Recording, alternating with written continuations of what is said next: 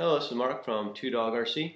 I'm going to show you how to convert your Dualsky Hornet with the FC450 board or 430 to the Naza flight controller with GPS. It's going to add a couple more features to the Hornet, such as position hold, altitude hold, and some uh, some just different flying characteristics. So let's get started. Here's my Naza board. Right here you've got a red arrow that points Naza with the little arrow on it. And that's what's going to be pointing forward. So this goes forward. So what we need to do is remove this top lid. Just a couple screws here. Go. All right, now we've got our receiver. And we've got this wire that comes off of three channels. Your throttle, aileron, elevator. What we're going to do so we're going to pull this off. All three of those. Okay. We'll pull off our 450 because we're no longer using that. Put this over to the side. That one's done. Now if you look here, I've got my Spektrum radio. You want to make sure that your aux, the wire that goes to the U on the Naza is hooked into the aux on your Spektrum radio or whatever radio because that's a three position switch. Gear is a two position switch. Just a little note there. Alright, now that we've got our top off and our FC450 out of here, we just hook up our Naza. What I found out is the wires off the back of the Hornet are a little too short, so you're going to need some 6 inch, maybe even 4 inch servo leads. I got 6 just to have some extra room to connect it. So now what you're going to do is the multicolored wires that come off the back of the Hornet, or that little wiring plug,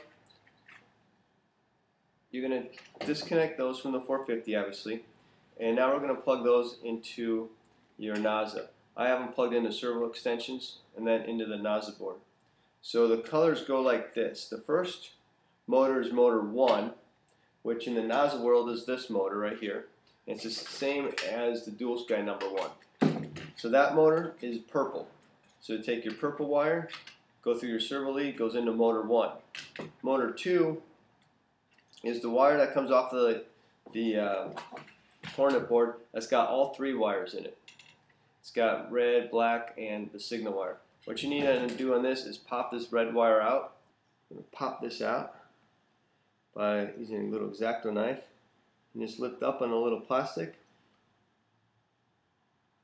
or in the middle one and then gently pull the red wire. It's kind of a little touchy, just want to be, there we go. Now, there isn't any power going into there, up on there. And then this goes into my servo extension. And this goes into motor number two. Motor number three. Oh, and by the way, motor number two is different. This is motor number two in Naza world. So even though this says number four arm, in Naza world, this is motor number two. Motor number three is green. Take the green one, servo wire, and M3. Purple and the last one is blue. Motor number four, which is this motor. Now, don't get confused. This is motor number two, motor arm number two for Dualsky. But in the Naza world, uh, this is number four. You don't have to change anything else, but you just have to make sure that those go. You can't just go right from what the FC450 says into what the Naza says. That won't work. The number two and the number four motors are reversed. So once you get those plugged in, then you just plug in the extensions that come with the Naza into the, the back end, aileron, elevator, throttle, rudder. Plug those into your appropriate receiver. And then where it says EXP is where you're going to plug in your GPS. Actually, you've got two wires off this LED thing. The big one goes in the top where it says LED. The little one that looks like a normal servo lead, that goes into X3. Um, and then the rate goes into U and into your aux. You want it to go in a three position switch. If you don't have a three position switch, you can put it in a two position switch position like a gear, like you have a DX, uh, I believe a six, uh, it's going at two position, but you really want a three position switch. So I have it going in my aux for my DX7. So that's uh, basically all you have to do to set it in here. And then again, you want to make sure the arrow points forward, and, and obviously that's forward. So make sure that, and I just have it tied in there. And then I've got my wires come up. I've got my receiver mounted here. I put this here because you want to be able to see this LED. It's got some information as far as satellites and stuff like that. So real important that you can see that. And then what I've got going on here, I've got my GoPro mount and my here's my transmitter. I want to plug my GPS in. What I'm going to do, uh, I've been this with the GoPro as my FPV camera. I really don't like that. It works a lot better with the secu small security cameras. So what I'm going to do is I'm going to move my GPS a, a little bit closer. I'm going to set it onto one of these screws actually to hold it down. And I'll probably put it right there actually. I'm just going to glue it right there. And then I'm going to put my FPV camera right here and then my GoPro right there. Uh, you know, on these small little frames, you don't have much room, so that's just got to take opportunity. So I have a security camera, which will be an FPV camera. GoPro comes back. Here's my video transmitter.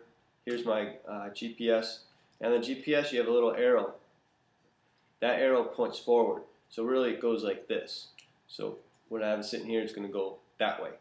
And that's it. Now when you go program it, you, you got to go hook all this stuff up make sure you take your propellers off. I have my props on here because I was actually flying this. It flies excellent.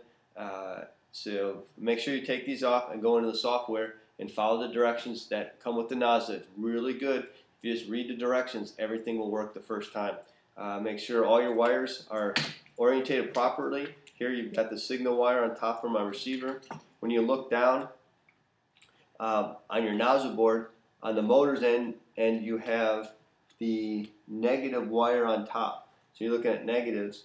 And then on the other side, same thing. So you should see negative wires on top for all your servo leads.